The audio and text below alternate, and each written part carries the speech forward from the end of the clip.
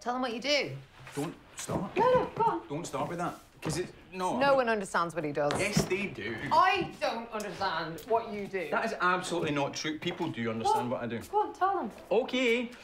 I've got a boutique consultancy.